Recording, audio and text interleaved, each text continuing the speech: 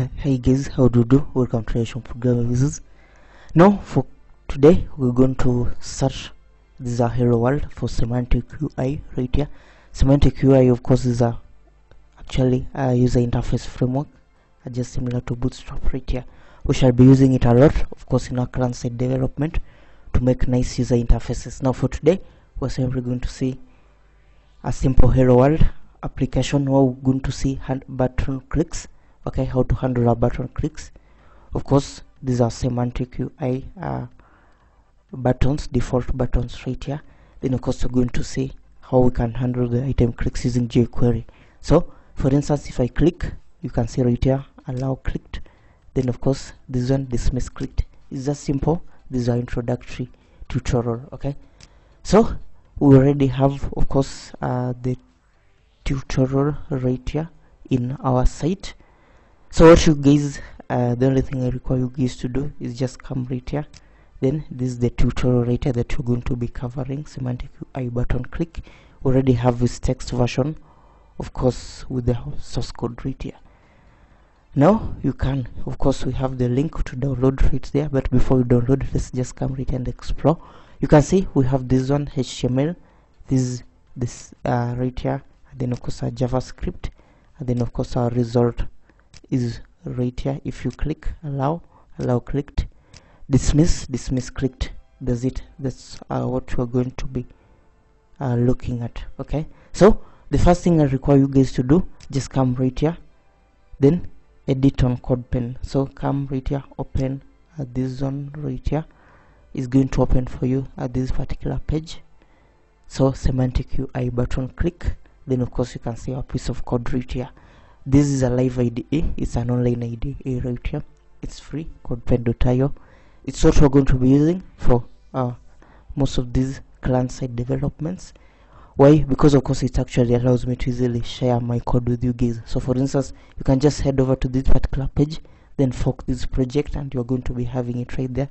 Then you can edit it the way you like. You can also uh, download it. Now if you want to download the project of course just come right here then download of course the full source code. Now you can see we have three sections. We have the html the js javascript and then of course our result section. So the first thing we need to add, add some dependencies right here. So come html click right here. Okay? So you can see come to the css section. So we need to add of course dependency. Now semantic ui dependency. We're going to be fetching it actually from of course a cdn content delivery network. So come right here just make sure you in fact if you head over to this page you'll find it right here okay? We add in fact we're only adding right here the button.min.css we're fetching it from cloudflare right here cdn that's it. That's for our semantic ui that's the only thing we need. Then of course for javascript we also just need the jquery. So we'll go ahead specify the url for the our cdn right here jquery dot min dot js right here. And of course you save and close. That's it. In fact this project right here is going to automatically generate for us of course the html the title tags the html the uh, the title and of course the body tags. Now if you have some specific things that you want to add of in our header tag you can just come right here add them right here okay? So you can just add them right here so otherwise we simply come here. We just have uh, move directly to our code button id button allow id then of course class ui primary button right here. Then of course allow. We have two buttons uh, al allow and of course dismiss right here. Okay? Then of course in our javascript we come right here. Document.ready when our document is fully loaded then of course we're just going to come right here button allow id we select this particular button then handle its on click. Event right here then of course we show alert dialog allow clicked. If it is dismiss dismiss clicked. Does it? You do that one save it and then of course to run it.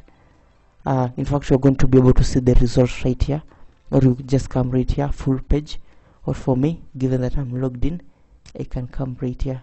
Uh, debug mode is going to open for us the page of course with the result okay? So you can see right here allow allow clicked dismiss dismiss clicked. That's it. That's it guys. It's just simple. We're going to look at more semantic ui and jquery tutorials. So you guys make sure you stay tuned by subscribing if you haven't. Others like this uh lesson make sure you share it okay? And take care. I'll catch you in the next class